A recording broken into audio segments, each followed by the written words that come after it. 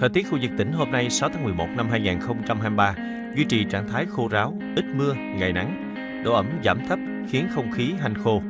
Thời điểm sáng sớm tiết trời mát mẻ. Dự báo cụ thể thời tiết các khu vực trong tỉnh đêm nay và ngày mai như sau. Khu vực phía Bắc của tỉnh đêm nay có mưa và dông vài nơi, nhiệt độ 25 đến 27 độ. Ngày mai trời nắng, chiều mai có mưa rào và dông vài nơi, nhiệt độ cao nhất 32 đến 34 độ, độ ẩm 75 đến 80%. Khu vực ven biển Bà Rịa Vũng Tàu đêm nay có mưa và dông vài nơi, nhiệt độ 25 đến 27 độ, ngày nắng, chiều tối có mưa rào và dông, nhiệt độ cao nhất 31 đến 33 độ, gió đông bắc đến đông cấp 2, độ ẩm 76 đến 81%. Huyện Côn Đảo, nhiệt độ thấp nhất 25 đến 27 độ, ngày có lúc có mưa rào và dông. Trong cơn dông đề phòng xét đánh và gió giật mạnh.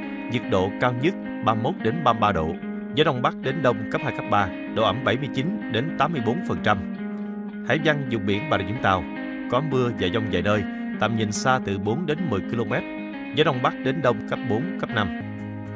Thủy triều tại Vũng Tàu ngày 7 tháng 11 năm 2023, mức nước cao nhất 368 cm vào lúc 23 giờ 15 phút và mức thấp nhất 186 cm lúc 15 giờ 45 phút. Hôm nay chất lượng không khí toàn tỉnh trong lành, không ảnh hưởng đến sức khỏe người dân khi hoạt động ngoài trời. Kết quả quan trắc về bụi khói khí thải toàn tỉnh đều cho kết quả tốt. Chỉ số chất lượng không khí AQI dao động từ 21 đến 34%,